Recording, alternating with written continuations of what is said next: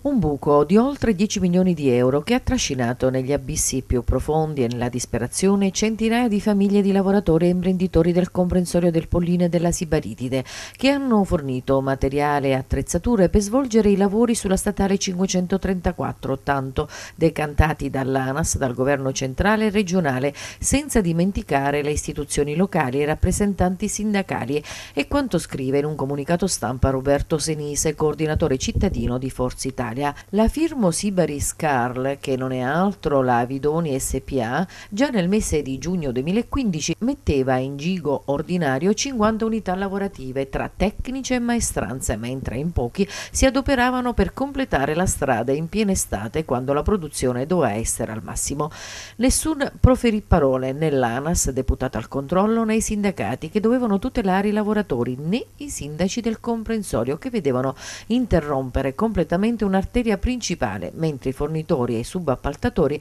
soffrivano per ricevere il dovuto dei lavori che avevano effettuato. Ma la beffa maggiore per tutti, continua Senise, si materializza quando l'ANAS a dicembre 2015 rescinde il contratto alla Vidoni SPA e continua a pagare i SAL, Stato Avanzamento Lavori, fino ad un importo di circa 50 milioni di euro. Inoltre, con una commissione, esegue lo stato dei luoghi nei giorni 18, 19 e 20 giugno 2016, consentendo di smantellare il cantiere alla Vidoni da tutte le attrezzature materiali proprietà dell'ente appaltante ANAS per poi farsi presentare il conto, cioè la dichiarazione dell'autofallimento. Stratagemmi ignobili che distruggono intere comunità e le autorità preposte non possono ignorare siffatta situazione, continua Senise. Perché l'ANAS non ha impedito alla Vidoni, dopo aver pagato tutti i sale, di potersi riprendere i mezzi nel cantiere senza accertarsi assicurarsi che i subappaltatori, le maestranze e i fornitori avessero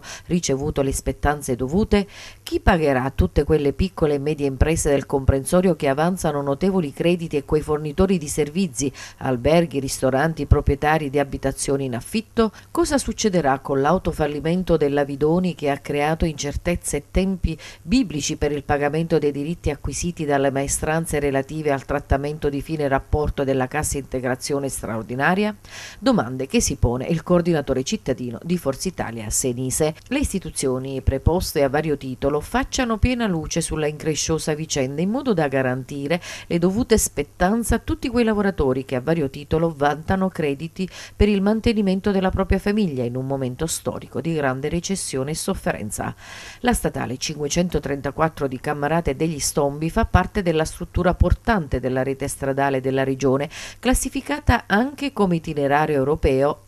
844, l'asse che permette il collegamento tra l'autostrada A3 e la statale 106 a servizio dell'area industriale di Cammarate in una zona agricola in cui si producono agrumi, olive e riso e di forte propensione al turismo ricadente del comune di Castrovillere e Cassano Ionio. Il fermo dei lavori, conclude Senise, sta comportando notevoli disagi non solo alla circolazione stradale in quanto il percorso alternativo si snoda su una complanare in configurazione cantiere altamente pericolosa e far sì che venga ultimata in breve tempo, consapevoli che con l'approssimarsi dell'estate le difficoltà del traffico veicolare saranno notevoli, augurandoci che non si verifichino ulteriori incidenti mortali.